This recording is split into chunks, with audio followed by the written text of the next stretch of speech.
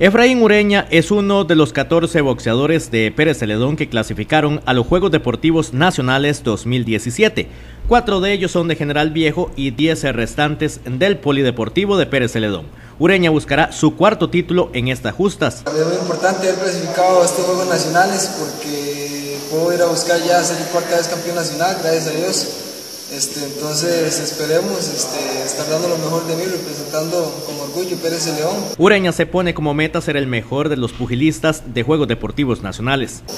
Este, también tengo, bueno, quiero pulirme bastante para ir a buscar un, un premio que haga el mejor boxeador de Juegos Nacionales.